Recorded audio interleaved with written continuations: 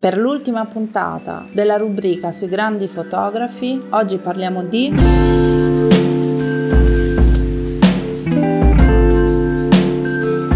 Peter Lindbergh. Ho scelto Lindbergh per finire questo percorso sui grandi fotografi perché indiscutibilmente è il fotografo di moda che amo di più al mondo. Questo libro si chiama un differente, Una differente visione della fotografia di moda ed è il catalogo di una mostra che ho visto a Torino due o tre anni fa. Mai titolo fu più adatto per quanto mi riguarda, Lindbergh è sicuramente il fotografo di moda più originale dell'ultimo secolo. Colui che è riuscito a fare degli scatti pazzeschi dando tutt'altro che l'effetto del patinato regalando a questi scatti una naturalezza, una morbidezza e una spontaneità inarrivabili. Lindbergh nasce in Germania nel 1948, studia arte e nel 78 si trasferisce a Parigi.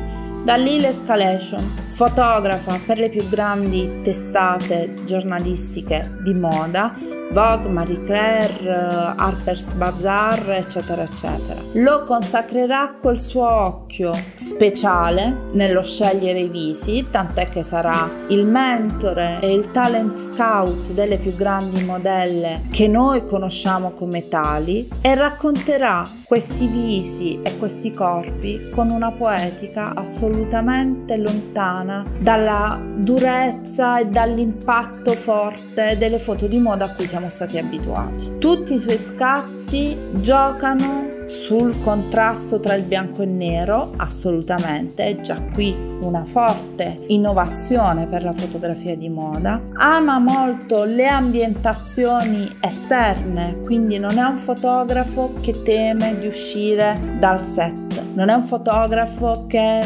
teme l'uso o la contaminazione della luce naturale nelle sue foto. È un fotografo talmente consapevole delle proprie capacità tecniche e delle proprie capacità artistiche che usa tutto quello che gli capita nell'ambiente e sa dosare la luce contingente e quella artificiale. I suoi scatti sono sempre raffinati, eleganti, non ovvi, sempre giocati quindi su un bianco e nero così delicato che un occhio non esperto pensa sia solo luce naturale. Lindbergh faceva montare, perché purtroppo è venuto a mancare da poco tempo, faceva montare dei set pazzeschi in location come la spiaggia o la foresta o le dune degli impianti di luce molto complicati per ottenere alla fine un effetto naturale. Praticamente un percorso inverso rispetto a tutto quello che i suoi colleghi facevano. Finora siamo stati abituati a vedere una moda squillante, dei colori molto decisi, delle pose assolutamente plastiche studiate, dei capelli perfetti non scompigliati dal vento. Ecco, Lindbergh vuole tutt'altro, cerca la naturalezza laddove lui deve fare comunque una fotografia commerciale, ma fa della fotografia commerciale un racconto armonico perché scorrere un libro di Lindbergh di centinaia di set diversi vuol dire guardare sempre una storia che stia bene con la precedente e con la successiva. È sicuramente un osservatore, un amante dei visi un amante delle donne nella loro naturalezza.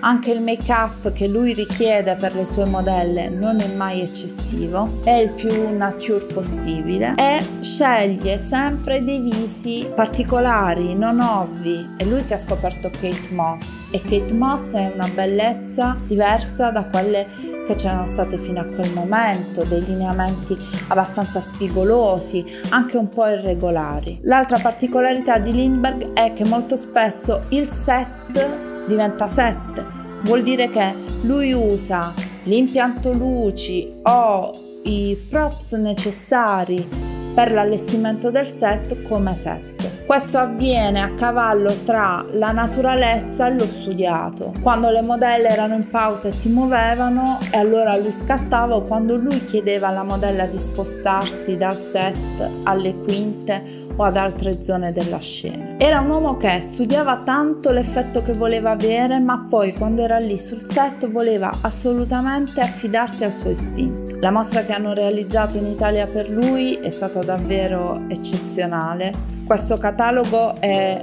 uno dei pochi casi in cui il catalogo è quasi all'altezza del, dell'esposizione, che raccoglie davvero tutti gli scatti e che racconta l'eccezionalità di quell'uomo. Lindbergh ha reso un, un tributo importante alla fotografia di moda, l'ha umanizzata pur usando delle bellezze stratosferiche, era sicuramente un fotografo che sceglieva meticolosamente i suoi soggetti.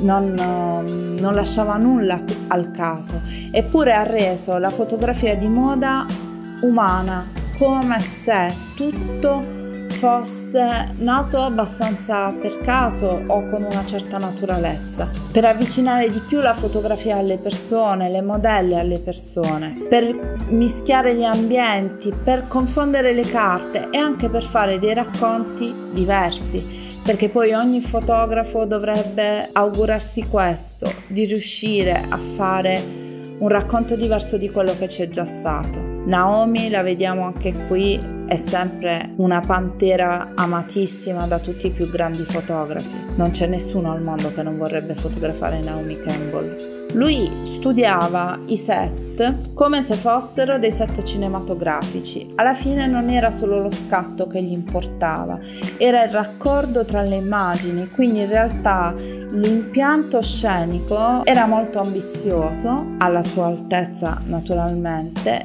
e al limite del limbo tra la foto e il cinema. Sono dei micro racconti e ti viene voglia quando guardi le foto di Lindbergh di sapere che sta succedendo, che sta guardando, cosa succede dopo. E quella non è mai solo fotografia. Quando una foto ti pone delle domande non è mai solo fotografia. Con lui io credo sia andata via la parte più originale artistica dell'attuale fotografia. Adesso, visto che è l'ultima puntata, se mi permettete, dirò la mia. E la fotografia di moda è diventata qualcosa di abbastanza complicato adesso perché in tantissimi la fanno, ma in pochissimi la fanno davvero.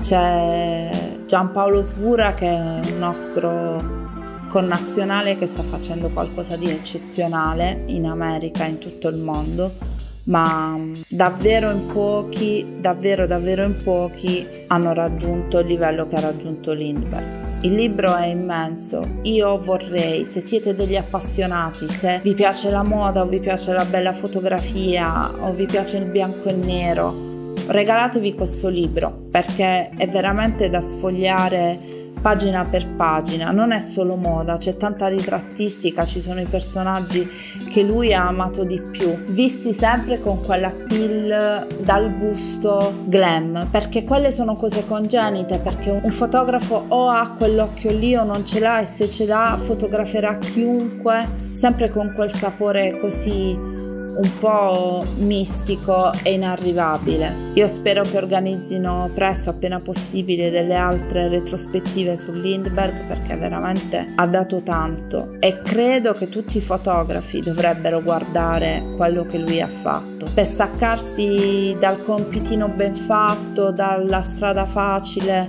dal dalla comfort zone della fotografia. Non c'è il colore e la color correction a omologare tutto, a rendere vivace o accattivante per l'occhio.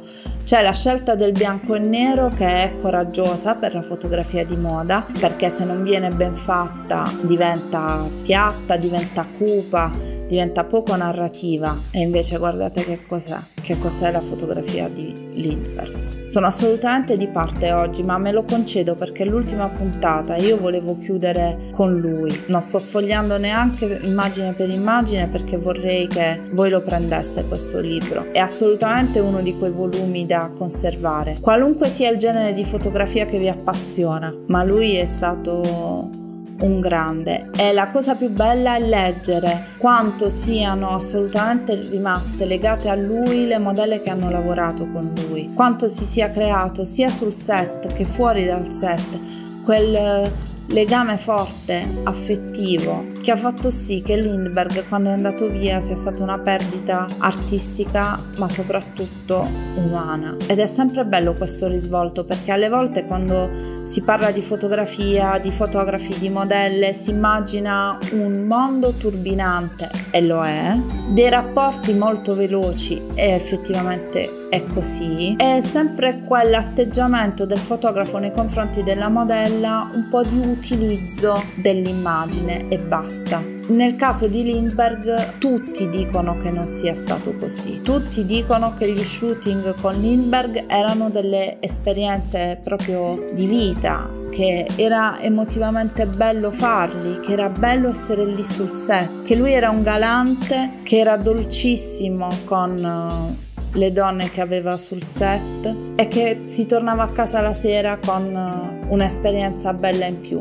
E non è sempre così nella fotografia e non è sempre così per le modelle. Il nostro percorso finisce qui, noi vi ringraziamo per essere stati con noi per tutte queste puntate non abbiamo idea se questa rubrica riprenderà dopo la pausa estiva o arriverà altro di nuovo, ve lo sapremo dire più in là sui nostri canali. Io personalmente però voglio ringraziarvi perché riguardare eh, insieme a voi questi libri mi ha permesso di fare un ripasso e un riepilogo dei fotografi che amo di più e che hanno contribuito a far diventare la mia passione un lavoro. Per cui vi ringraziamo tutti, vi auguriamo una buona estate, con Pastel continueremo a star con voi in altra maniera in questi mesi estivi e ci vediamo alla prossima. Ciao!